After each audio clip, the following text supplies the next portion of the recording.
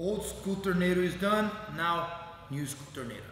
Guys, when it comes to the new school that I mean is that I the setup. Okay, that's how it began. I was a blue belt. Nobody taught me that, man. It just came out and happened in one training.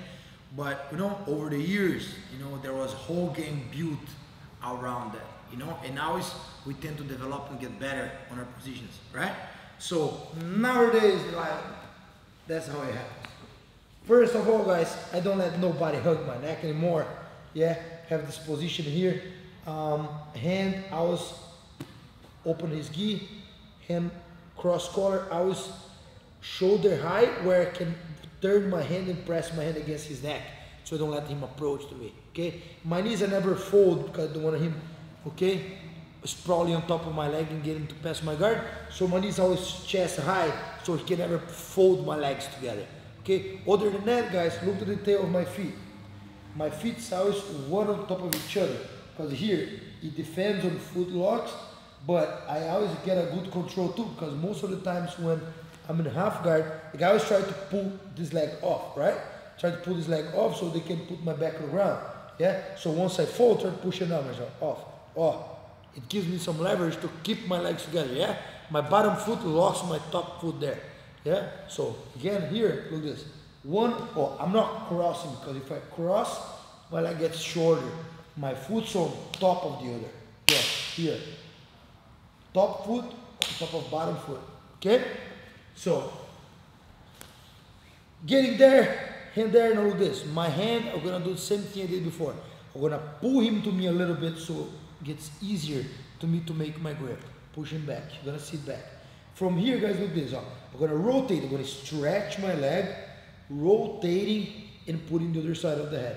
You're gonna say, man, but when you do this, don't the guy put the weight on top of you? No, because you remember the grip that I did on the neck? What I do is I turn my knuckles and I face his throat. So try to put your weight on me. He can't. See, it's hurting already just from him, just from him to 30. So if you try, I do a kind of little punch on his neck. You're gonna stay right where he is.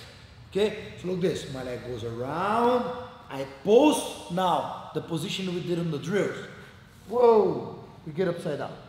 Okay, as soon as you get upside down, the hand that was in the collar, I switch to the elbow. Pay attention to this detail, guys.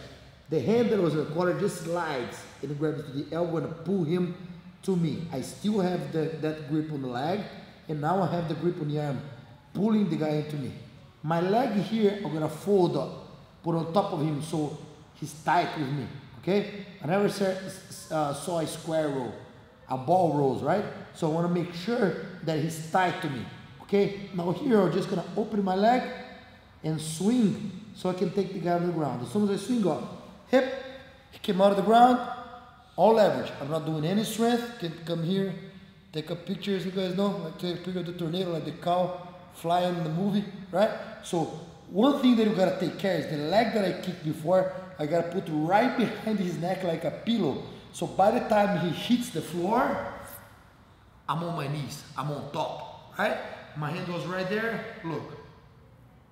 I have a Kimura right off the bat. Okay, let's do it one more time.